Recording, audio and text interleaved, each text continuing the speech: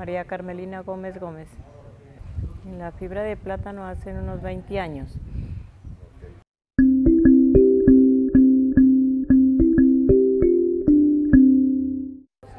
Bueno, pues eso, o sea, más atrás, eso lo, aprendí de mi abuela y de mi madre, sería cuando yo tenía 10 años, ¿no? Entonces hace mucho más tiempo.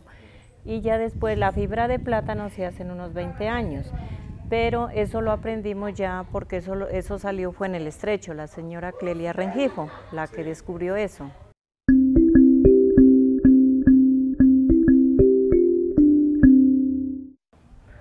Pues eh, bueno, por una parte, pues como un juego porque uno la miraba a ella, que en, primero que todo con el uso, ¿no? Y vuelta con la máquina y uno, ah, no, yo un ratico ahí, pues uno iba y enrollaba y enredaba, lo regañaban y vuelta hasta que uno no, yo voy a aprender bien y aprendió.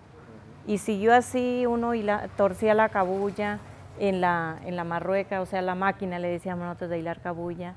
Y, y se hacía que los morrales, utileros y remeseros, los remeseros pues para el mercado y los utileros para los útiles, porque eso era. Sí, pero eso lo aprendía muy temprana edad, pues no digo de nueve o diez años, porque mi abuela pues era la que trabajaba en eso y mi madre también.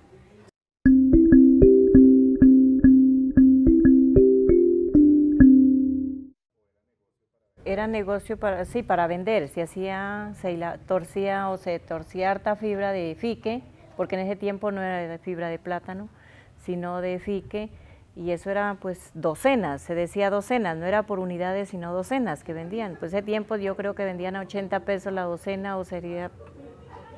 Sí, eso era muy barato.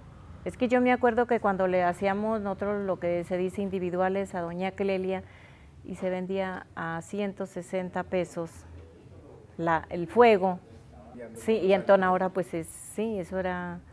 Y ya después sí uno fue aprendiendo más cosas, porque ya venían, pues ya hubo este parque, venían de artesanías de Colombia, le enseñaban más luego por el SENA, uno fue aprendiendo más lo que es las mochilas, todo eso. Y ya la fibra de plátano, pues sí, ya la fue haciendo.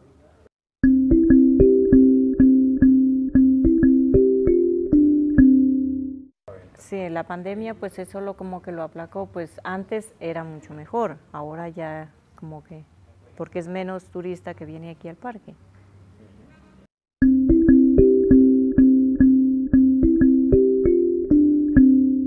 En la fibra de plátano pues claro, pues hay cosas que sí, porque pues de por allá vienen cosas diferentes, pues la gente corre a, comprarlas. pero pues siempre la de acá es algo diferente no es parecido, es una, una réplica, ya no es lo mismo que uno hace.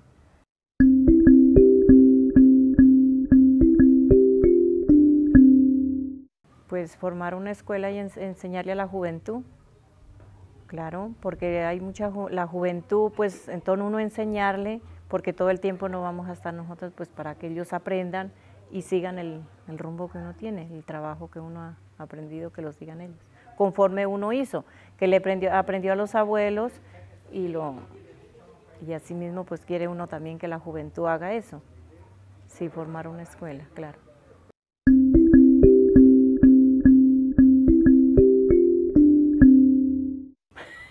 Por muchas cosas. Bueno, primero que todo, uno, bueno, yo lo tomaría como una cosa, bueno, sé que me pongo a trabajar, estoy desarrollando mi mente, ¿no? Y es un trabajo, y eso es también así, porque si yo pues, no hago nada, pues me voy a enfermar y eso me va a servir para muchas cosas.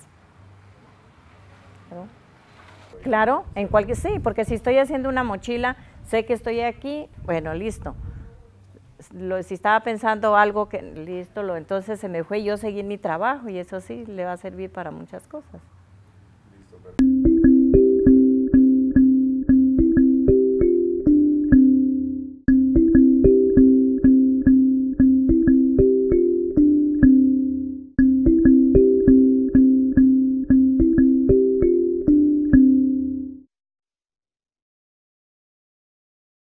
La cultura es de todos. Ministerio de Cultura.